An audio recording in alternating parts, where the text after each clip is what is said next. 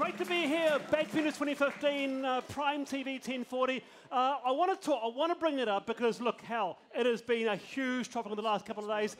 That is the flag, the four designs. Uh, Julie Anne is animated talking to David Seymour about it. You must be excited about this, Julie Anne. No, okay. David, Jacinda Ardern, what do you think? Is it, it's a bit sour grapes, is it? Is it a bit sour grapes? Because this is part of our national identity. For once, we have this chance, one in a 100 year chance to have a new flag. Why not, I say? No, and, and look, we were really open about the fact that having a debate about a flag is one thing, but we're talking $26 million of sour grapes. That's a lot of money, and it didn't have to cost that much. Let's be really clear. You could have. Well, how much would it have cost? Well, one referendum could have, if you paired it right back, could have been six mil. Six mil. Um, if, but why didn't we ask people if they wanted to do it first? Well, why didn't we say yes or no, new we flag? Did. We well, what, is, is that how it happens overseas, Juliet? Is that how it happens? You don't get a choice. You get sort of like uh, Frank Bainimarama. He's just basically foisted a few designs and he's, he's chosen a design. I think that the process was not as representative and democratic as it could have been. I think that we definitely should have had more public involvement through electronic voting on the final 40 and I think it, we should be having a debate about what the flag really means. This looks like a very empty corporate logo. It's not. What does it mean? What? What does it mean to you? What does a flag mean to you? Well, I think it is should it important? make some reference to the history of this country. And that's which what is those four designs have done. They've been chosen uh, wisely. What do you think, Alfred Ngaro? Well, the thing is, um, there, there, there they are. There. The thing is, Wallace, is that this is nothing new. This debate has been going on for 60 to 70 years. Many New Zealanders, sporting and otherwise, have been turning around. Yes, so Matsurata said in 1995, uh, 92, he said the new flag should reflect our future, not just our history and our heritage. This has been going for what? And the RSA finally said this, Wallace. They said if it go, is going to happen, let it not be by parliament, let it be by referendum. Let the nation choose. You know, That's the reason why we're having a referendum. Nothing be honest. says future like lasers. All That's right. all I'm saying. um, be honest, Alfred.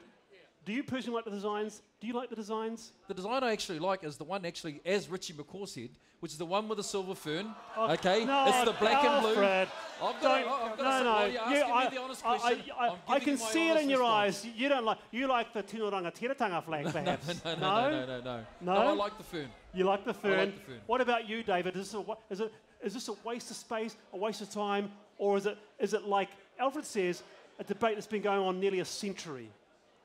Yeah, I, I just find it so hard to get excited about either way. What would you, what, go on, go on. What would you, what would you have? You know, when you're driving your little, I don't know, your chopper there and on the dashboard, what would you have there? Uh, gets caught in the blades. But look, I mean, I'm looking at a bunch of young people that are going to be absolutely weighed down by the cost of super. The Prime Minister says he won't change that. If we're going to have a referendum, let's do it on something that actually matters to the future of New Zealand. And I, you know, what we should have done uh, is actually appointed an expert panel to generate some options on that uh, and had a vote on the Is future it? of super in the age of entitlement and fiscal sustainability and fairness amongst generations in this country instead of changing a small piece of cloth. All right, that's a good, that's a good point. Would you like to respond to that, Alfred? Oh, look, what I support is the fact is, is that the nation actually gets a chance to choose. By the way, it's not going to cost six million, as Jacinda said. Actually, inside the select committee, for one referendum, it's 16 to 18 million dollars. Okay, that's what's going to cost. At the end of the day, the nation gets to choose. The people get to choose. And remember, it's got about it's about the history, the heritage, but also. I'll go to Damien. I'll come back to you, Damien. Yeah, I was having a bit of a conversation beforehand. It's like if we don't change it this time because we don't like these ones, do we get to have another go in ten years' time or something like that, or are we? We don't want to be that country that changes our flag all the time. I wanted to come to someone in a Team Key t-shirt. Hello there. Go. Hello. How you going? Just because I want to see if this is a, a partisan thing. If we're sort of a national people, do you think we should change the flag? Um, I'm quite undecided to be honest. Really? Okay, cool. Okay. Uh, do you like the current one or do you just not like the alternatives? Um, I quite like the blue and red one. The, the silver, the, the, National Party, John Key likes one? Yeah, sure, why not? Oh, okay, let's go to another guy in a Team Key t-shirt. No, no, I got it, I got it. Because which, which of the flags do you like? Um, I think I like the red and blue one with silver fin.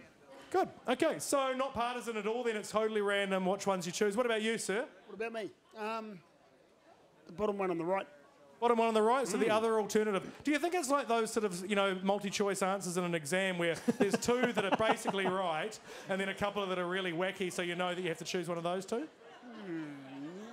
Yeah, maybe. All right. Wallace?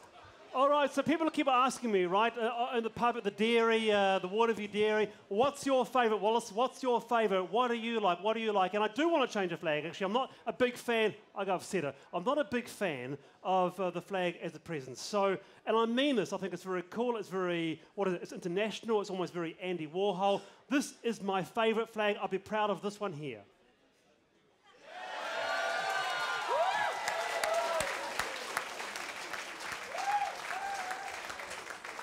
I could wear that in Paris, Tokyo, New York. Round of applause for the laser Kiwi.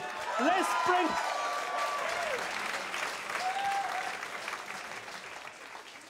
We're going to go. Quiz next.